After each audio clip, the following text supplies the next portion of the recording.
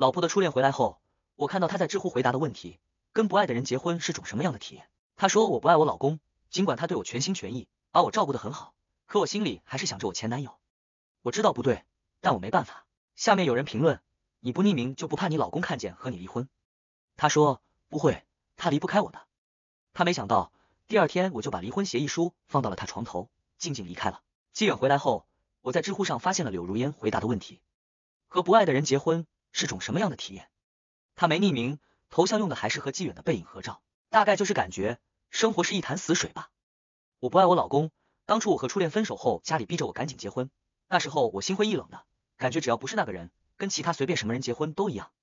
正好我老公一直喜欢我，我们认识时间也长，知根知底的，我就跟他在一起了。我还记得他那天特别高兴，一个劲问我是不是在做梦。说实话，我感觉心里挺愧疚的。这些年他对我全心全意，家里大事小事都照顾得很好。我手指微微颤动，继续往下滑下去。他说：“但是我不爱他。这些年我心里一直想着我初恋。我知道这样挺不是东西的，我也试过去喜欢他，可我真的没办法。”下面有人评论他：“你也不匿名，不怕你老公看见了跟你离婚？”他的口吻一如既往的笃定：“不会的，他离不开我的。”心脏里像是藏了一根经年累月的刺，已经被血肉磨平了棱角。不再像一开始那样尖锐的刺痛了，只是还是有细细密密的钝痛，无法忽视。我苦笑起来，瞧他多了解我啊！哪怕到了这一步，他也知道我离不开他。晚上，柳如烟表现的一如既往，我们像是一对相敬如宾的夫妻。他例行公事般夸赞了我晚上做的饭很好吃后，就上床背过身去看手机了。一米八的床不算大，可我们背对背，中间竟然也能留下一片跨不过去的空旷。我突然想起我求婚成功的那天，他以为我是喜极而泣。其实他不知道，那时候我心里全是悲哀。他跟纪远在一起整整七年，从十七到二十四，他们拥有彼此人生中最美好的时光，陪伴对方从青涩走到成熟。大学毕业之后，纪远还想去国外深造，拿到了理想院校的 offer。可是柳如烟的父亲那时候病重，他被要求接手家族生意，要留在国内。大概异地恋总是没有好结果，一开始他们还能坚持，可是后来距离远了，各种各样的问题也多了起来，时差让两个人沟通的时间越来越少。再加上柳如烟刚刚接手公司，每天都忙得要命，独自远在异国他乡的纪远也发现，需要柳如烟的时候，他永远都不会在。两个人之间的争吵越来越多，终于在一年以后的一次吵架中，矛盾彻底爆发，纪远冲动之下提了分手。本来事情到这里还是可以挽回的，可是他们从小都是人群中的佼佼者，骄傲的很，谁也不肯低头。柳如烟那时候父亲刚死，正是悲痛欲绝的时候，也顾不上这些，最后到底还是渐行渐远。可我知道。他心里一直都放不下纪远。其实我跟他求婚的时候，我就知道他不爱我。他只是那时候心烦意乱，想找个人把结婚这件事儿对付过去。正好我各方面条件最好，所以就胡乱挑选了我。这些我都明白。可最悲哀的是，其实我都知道。可在他随意答应我的时候，我还是把戒指戴在了他的手指上。那天我一直抱着他，其实我只是难过，难过于我知道他不爱我，可我还是只能爱他。不知是有意还是无意，纪远刚回来。大学班长就组织了同学聚会，三年不见，纪远比之前更英俊了。他长身鹤立在人群中时，那件裁剪合体的西装愈发显得他人十分挺拔。可是柳如烟从进门开始就一眼也没看他，只体贴的坐在我身边给我夹菜。他在家的时候从来没为我剥过虾，可现在却关切的把剥好的虾放在我碗里，笑得温柔。多吃点儿。对面的纪远动作一顿，脸上的笑容慢慢散去。我突然觉得有些好笑。这场看似三个人的戏里，他们俩倾情演绎。只有我作为一个不配上台的丑角，冷眼旁观。酒过三巡，一个死了老公的富婆女同学大声对着纪远醉醺醺笑道：“纪远，你怎么比之前还好看了？现在有没有对象？没有的话，要不要考虑一下我？”余光里，柳如烟的身子僵住了。纪远笑道：“没有，不过我觉得咱俩不太合适。怎么就不合适了？”富婆被拒绝，有些恼羞成怒，口不择言起来：“你不会还想着柳如烟打算给人家守身如玉呢吧？人家都结婚了，你想去给人家当男小三？”纪远笑容有些挂不住了，你喝多了。另一个看热闹不嫌事大的女同学拿出手机，说不定人家是郎有情妾有意。我之前刷知乎的时候看到柳如烟答了个问题，说跟不爱的人结婚是种什么样的体验？纪远，这张合照是你跟柳如烟吧？你朋友圈里现在还有这张照片呢。一听到有瓜吃，所有同学都拿出手机来，在哪儿呢？就连纪远也在看到那个回答的时候，眼神复杂的看向柳如烟。柳如烟回望着他，我浑身发冷。几乎控制不住的颤抖起来。众目睽睽下，所有人都知道了，我的老婆爱着的其实是另外一个男人。一瞬间，我好像被扒光了游街一般，恨不得立马站起来逃走。许久后，柳如烟终于开口了，她声音如常，只是仔细听的话才能发觉里面微微的颤。瞎写的，我跟我老公挺好的，大家吃饭吧。同学们纷纷点头，收起手机。可是接下来的一顿饭，我能感觉到无数的视线落在我们的身上，停留在我这里的只有同情和嘲笑。这大概是我有生以来吃过最艰难的一顿饭。快散场时，柳如烟留下一句“我去个洗手间”，就站起身来走了。没一会儿，纪远也出去了。不少人都有意无意的看向我，我已经不知道是什么感觉了，只能假装无事发生，继续低头机械式的吃饭。散场后，所有同学都走了，我等了许久，也不见柳如烟回来，只能起身离开。可在经过走廊的时候，我却突然听到纪远的声音。我从阴影里看过去，只见纪远从身后抱住柳如烟，激动道。可你明明心里也是有我的。柳如烟皱眉，你想多了，我已经结婚了。纪远声音更高，那你为什么不敢回头看我？你的那个回答怎么说？柳如烟，你明明就不爱他。他低声道，我知道这样不好，可明明是我们先在一起的，如果不是他，说不定我们早就和好了。柳如烟，我就是为了你回来的，之前是我不懂事儿，我们重新开始好不好？柳如烟身体僵直，表情被阴影覆盖，看不清楚。许久后，他一寸寸回身，一把抱住了纪远。两个人在无人处几近疯狂的拥吻，像是要把这些年压抑的情感都发泄出来。而我就在一边无声看着，任由刀锋搅烂的我的心脏。我不知道为什么，明明是他们在亲密，仓皇逃走的却是我。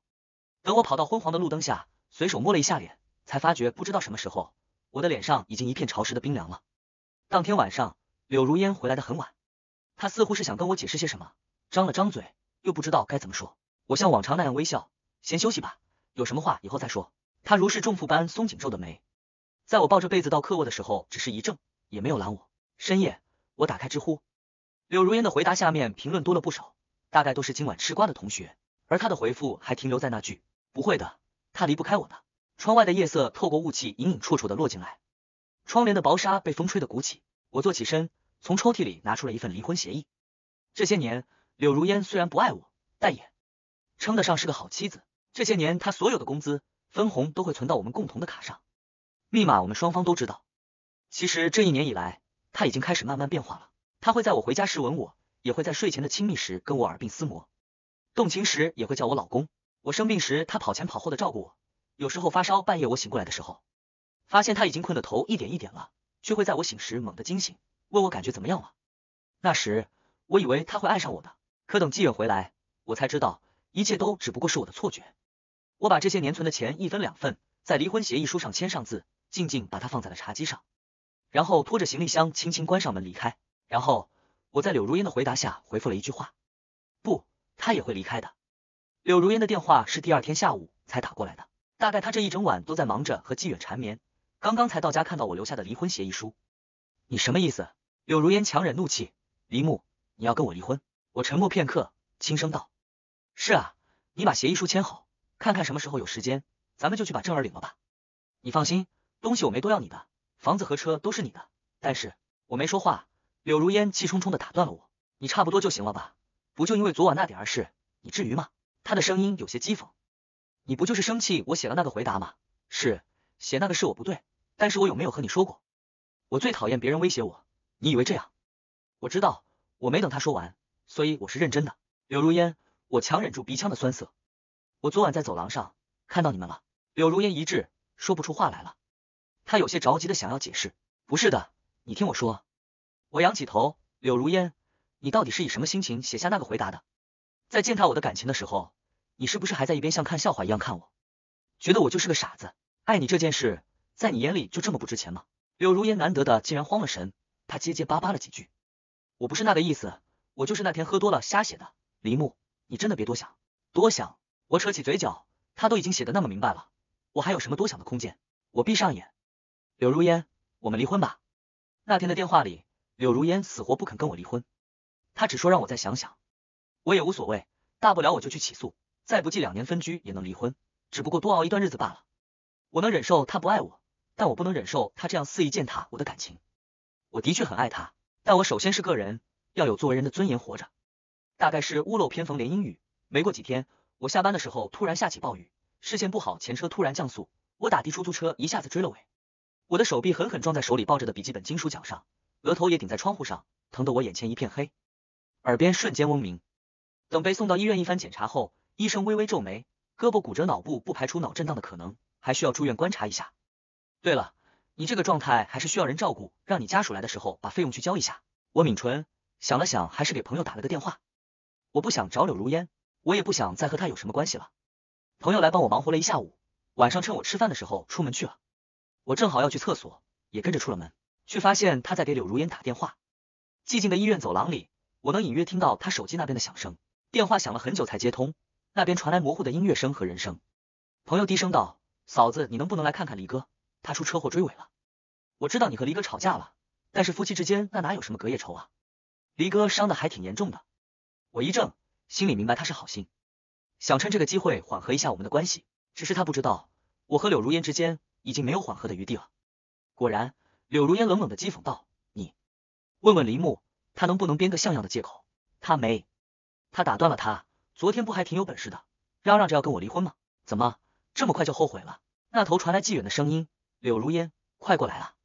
挂电话前，柳如烟留下一声嗤笑：“你帮我转告林木，我是真看不起他。”然后就是冰冷的电子忙音。我呆呆的看着手机，感觉心脏好像都不会跳了，头疼和肚子疼都慢慢离我远去，最后唯一能感觉到的，只有心脏处后知后觉的钝痛。大概因为第一天的手术打了镇痛针，胳膊到第二天才真正疼起来。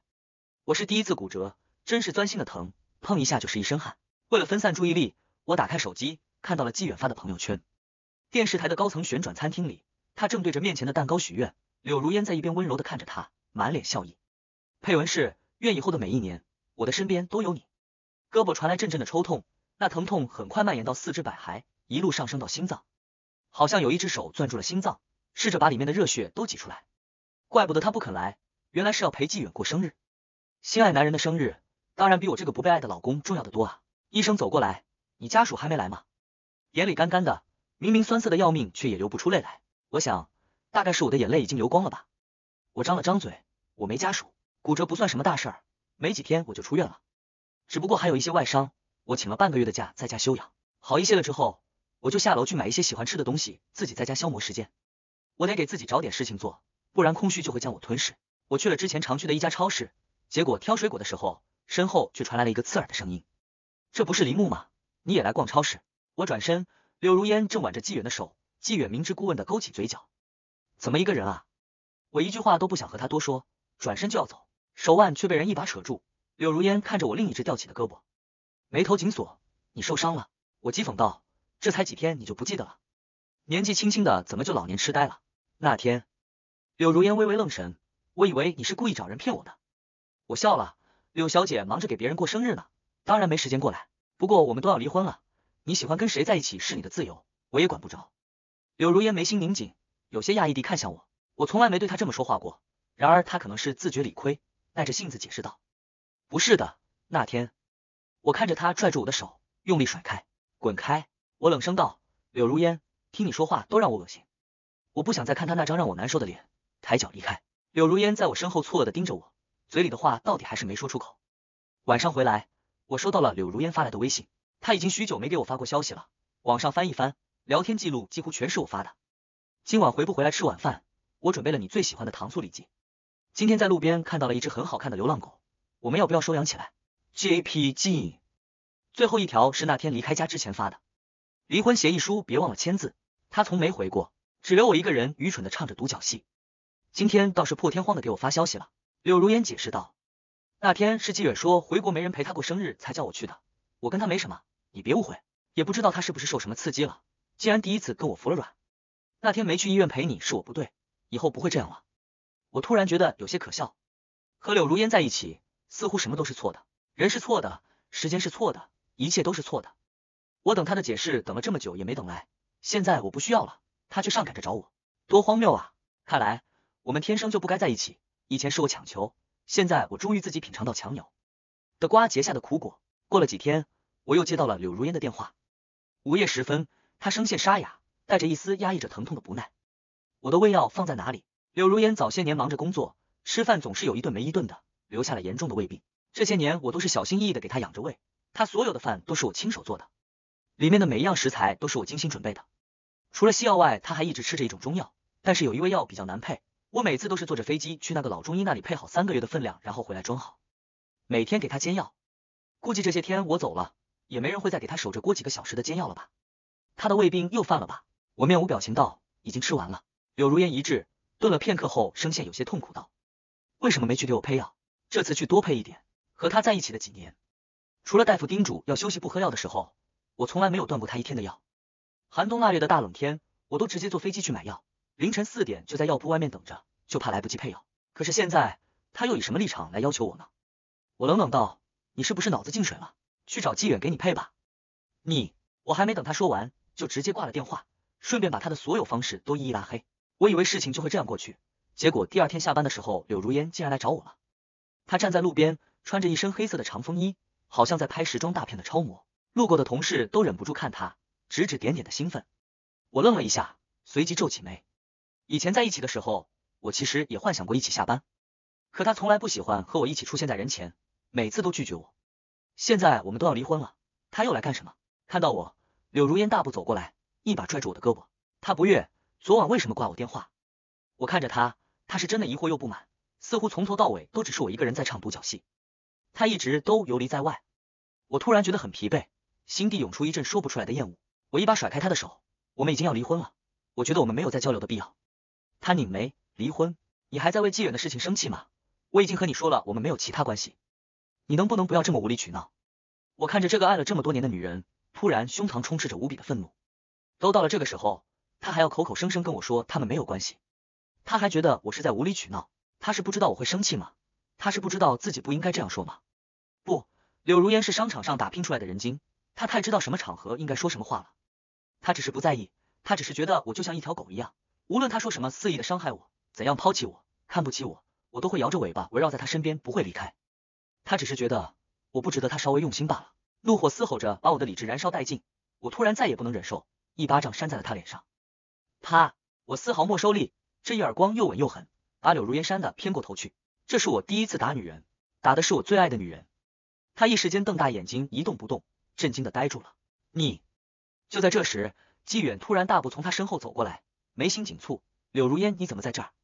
他又转向我，表情瞬间恍然，几乎是有些鄙夷道：“林木，你能不能不要再纠缠柳如烟了？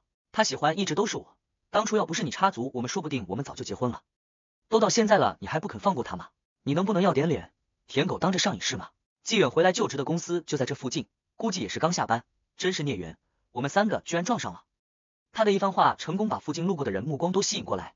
我已经看到有人在边拍照边指指点点，我攥紧了拳头，忍了又忍，终于没忍住，也给了纪远一拳。这一拳积蓄了我所有的怒火，他踉跄后退，被我打懵了，回过神来，勃然大怒，也顾不得什么形象了，冲上来跟我厮打。你他妈敢打我！以前我总是下意识的忍着，因为我爱柳如烟，我不想让她不高兴。我总觉得只要我对她好，一直在她身边，五年十年，他总会有看到我的一天。可现在我明白了，感动自己是得不到爱情的。爱情是一件很自私的事情，就像他爱纪远，他什么都不用做都能被他惦记这么多年，而我为他卑微到尘埃里，他不爱我就是不爱我。我一把握住了纪远的手腕，把他一脚踹开，一字一顿道：首先，我没有插足你们俩，是你们分手一年后我们才在一起的。其次，现在我们还没离婚，是合法夫妻，插足别人感情的是你。最后，我不知道你为什么这么嚣张，明明是个搅散别人婚姻的杂碎，还敢在这儿大放厥词，难不成这就是你所谓的要脸？如果说你就是这么要脸的，那我确实学不会。我大学学的是法律专业，越是生气的时候条理越清晰。周围的人都震惊了，原来这个才是男小三，那他还敢这么嚣张，无语了。现在的男小三都这么不要脸的吗？人家老公这么帅，他还去插足，把他发到网上让他火，长得人模狗样的，怎么这么不要脸？纪远去了一眼四周，对着柳如烟的时候又换了一副脸。他低声道：“你爱的是我，对不对？你说啊，是我们先在一起的。”我冷笑：“你不用跟我玩这套茶的。”我刚也打了他，有种你就让他帮你打回来。柳如烟却沉默了，在纪远震惊的目光中掰开了他的手。我想可能是你误会了，我爱的是我老公，目前我没有离婚的想法。抱歉，纪远，我误会。他睁大眼睛，难以置信的后退一步。那之前的那些又算什么？你明明说放不下我，吻我的也是你。他在医院的时候，你都在陪我过生日。现在你跟我说是我误会了，柳如烟，你他妈到底是怎么想的？柳如烟轻声道：“我承认。”之前我对你是有一些想法，但我想清楚了，那只是之前那些年的不甘心而已。这些年我和林木挺好的，是我对不起你。纪远脸色煞白，许久后他点了点头。行，柳如烟，你狠！我实在不想再被人当猴子一样指指点点，转身也要离开。柳如烟还要再拦我，却被我甩开。我面无表情道：“找个时间，我们去把手续办了吧。”他咬牙：“我不会跟你离婚的。”我耸耸肩：“你随意。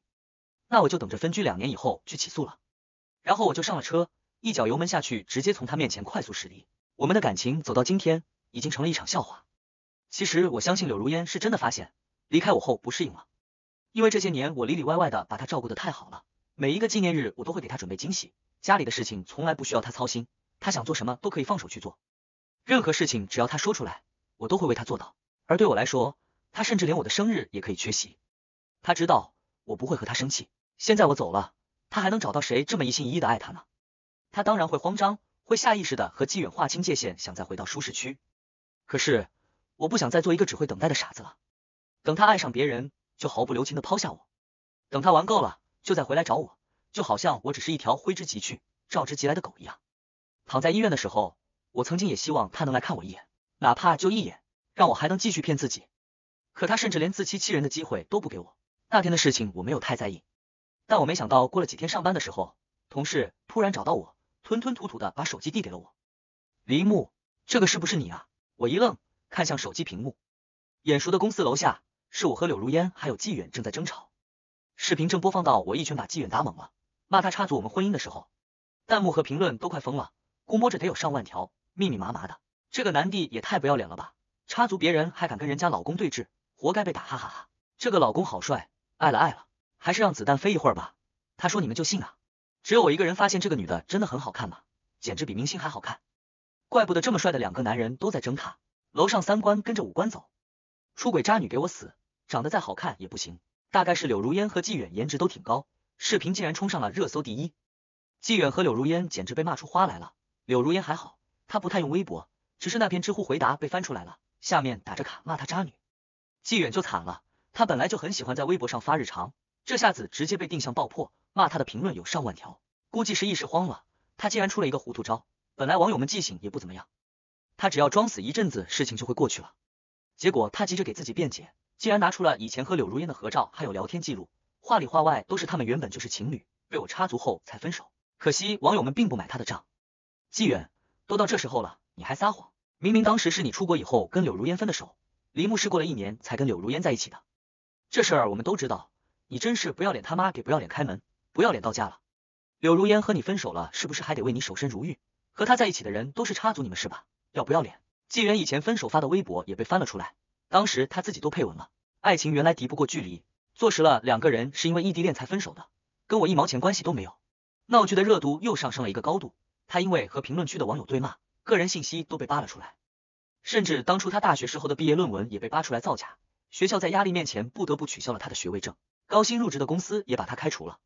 一时间，纪远彻底沦为过街老鼠，几乎人人喊打。柳如烟倒是在这个事件中成功隐身。除了一开始被骂了几句外，就没什么事了。他还能有空换号给我打电话。现在纪元也付出代价了，我也被骂了。你要的一切都得到了。林木，回来吧。我恶心的不行，直接挂了电话。可是柳如烟却好像上瘾了似的，一直来纠缠我。直到三个月后，他才慢慢的不来了。我以为是他想通了，结果却接到了他秘书的电话。黎先生，柳小姐不肯做手术，您快来劝劝她吧。我一开始还以为是他又是出什么花样逼我回去。可是秘书的声音都变了，柳小姐得了胃癌，已经是中期了，大夫说再不手术就晚了，您快来吧。我一惊，挂了电话，犹豫片刻后还是去了医院。一到医院，秘书惨白着脸跟我说，您走之后他一直昼夜颠倒的，想起来就吃一顿，想不起来就不肯吃，药也停了，晚上也不睡觉，整宿整宿的在阳台上抽烟。他本来就胃不好，经常疼得直冒冷汗，后来就发展到吐血了。他抹了一把脸，结果结果今天来确诊了胃癌，他也不知道怎么了。在那坐了老长时间，也不肯同意做手术，非让我给你打电话叫你来。我走进病房，柳如烟坐在窗边正往外看，看到我进来，她转过头来，露出一丝笑容。你来了，没几个月不见，我都差点认不出她来了。柳如烟以前身材很好，是前凸后翘很丰满那一挂，结果现在整个消瘦了一圈儿，衣服穿在身上都空荡荡的了。我皱眉，你到底想干什么？柳如烟拿出一根烟点上，也不顾墙上的禁烟标志，深吸了一口，他驴唇不对马嘴道。林木，其实我写下那个回答的时候是真心的，我是真觉得不喜欢你，所以这段婚姻没什么意思。我忍不住攥起拳头，你叫我来就是为了羞辱我？不是。他继续道，我其实刚看见纪远的时候，确实挺激动的。年轻的时候我是真喜欢他，他沾长得帅，也足够优秀，和我势均力敌。我是真以为我放不下他的，但真的很奇怪，我和他接触以后，却发现自己没有想象中那么开心。我总忍不住想到你，拿他跟你做比较。一起吃饭的时候，他点了一道辣菜，我就会想，换做是你，肯定不会点这么辣的菜。你知道我吃不了辣，我胃疼的时候，他手忙脚乱，我就会想，如果是你在这里，一定会立马去找到药给我吃。不，换做是你，你压根就不会让我胃疼。他是很优秀，很有趣，可是我和他在一起的时候，总是忍不住走神儿。我总在想，你现在在干什么呢？烟头燃到了他的指尖，他却好像没感觉似的，一动不动。许久后，他才慢慢低下头，狠狠的吸了一口烟，他的手指抖得要命，烟灰落在地上，沙哑道：“和你分开的这段日子，我总忍不住想到从前。那时候，我回来的时候，你总是脸红着亲我一下，桌上都会摆着你做好的饭。那时候我没觉得有什么，现在想想，其实那时候我想到回家也是期待的。原来我想要的早就已经得到了，我早就爱上你了，只是我一直看不清。林木。”我知道我对不起你，现在我才知道我伤你有多深。他红了眼，你能不能给我一个补偿你的机会？我我冷冷道，柳如烟，你是爱我吗？你爱的是我，还是那种永远有个人把你放在第一位的感觉？你到底是想我回去，还是想我继续像以前那样照顾你？我扯起嘴角，说到底，你爱的永远都是你自己。纪远能给你带来新鲜感的时候，你就毫不犹豫的抛弃了我去和他在一起。你不知道我会难过会伤心吗？你当然知道，只是你不在乎。后来发现他不能像我这样无微不至的伺候你，你就开始想起我了。说白了，你其实只是一直不负责任的在追求你喜欢的罢了。爱，你也配说爱？别恶心我了。柳如烟的眼神随着我的话一句句的挥败下去。他沉默了很久。你的手术爱做不做？只不过现在我和你还是合法夫妻，到时候得来给你签字罢了。说着，我转身就要离开。就在我走出病房门的前一刻，柳如烟开口了：“林木，你说的都对。其实我就是一个不择手段的自私小人。”你全心全意为我，可我留给你的只有伤害。我确实配不上你，但是只有一句话我没撒谎。他的声音像是从很遥远很遥远的地方传来。我是真的爱你。我仰起头，没有说话，推开了门。这句话我等了太久太久，久到哪怕现在听到，残留在身体里的情绪还是会让我瞬间红了眼眶。可我已经不会再回头了。我现在终于想明白了，不爱自己的人永远不配得到爱。在听到柳如烟的消息是在两个月后，彼时我已经开始了新生活。我逼着自己删掉、扔掉和他一切相关的东西。爱了他太久，这种习惯已经成了我身体里的一部分，硬生生撕掉是血淋淋的痛。可我必须往前走。就在我努力淡忘着这一切的时候，他的秘书来电话了。柳小姐的手术挺成功的，但是医生说这种没办法延长多长时间，我们打算去国外治了。他托我告诉您，知道您不想和他说话。他说后天他就要走了，明天上午和您去领离婚证。我一怔，离婚这件事，柳如烟一直不同意，我几乎都已经不去想了。只等着两年以后的起诉，没想到他却突然同意了。再见柳如烟，她几乎成了骨头架子，坐在轮椅上，风一吹就会倒的样子，和当初那个美丽优雅的女人简直不是同一个人了。他没再纠缠，只是把离婚协议书递给我，看看吧，以后你终于能摆脱我了。我翻了翻，却发现他几乎把所有资产和钱都留给我了。这，我皱眉，我不要你这么多钱，当时说好了一半一半的，留着吧，我拿着也没用了，也花不了多久了。他笑得释然。以前给你添了很多麻烦，这就当是我微不足道的补偿吧。也许生死真能彻底改变一个人。柳如烟变得和往常完全不像了，平和了很多。我们顺利的拿了证，出来的时候我还有些感慨，当年也是在这里，我怀着满心欢喜娶了这个我爱了这么多年的女人，以为我们会一辈子幸福，却没想到短短三年，一切就都物是人非了。那我先走了。柳如烟把手里的小本握得很紧，冲我挥了挥手。不知道是不是我看错了，她的眼眶似乎泛着一丝微红。明天我就要去美国了，不知道这辈子还能不能再见。以后你自己一个人要好好照顾自己。我应该很恨眼前这个人的，他让我遍体鳞伤。可这一刻，我却只觉得眼眶酸涩，一种无奈的苦涩在口腔里蔓延。再见。他被秘书推着远去，还不忘了朝我挥手。林木，你要幸福。我擦了擦眼角，最后还是忍住了没有说话。该说的，不该说的，这些年来我已经说尽了，最后只剩下无话可说。也许对我们来说，这就是最好的结局。就让我们在这里分道扬镳，然后各自前行。我转身离开，我们俩就这么背对着渐行渐远，直到最后再也看不见。今天的阳光真的很好，好到有些刺眼。我走着走着，眼前到底是一片模糊。可是我不会再回头，哪怕再疼，我也要继续向前走。我在心里默念：再见，我的前半生。再见，柳如烟。全文完。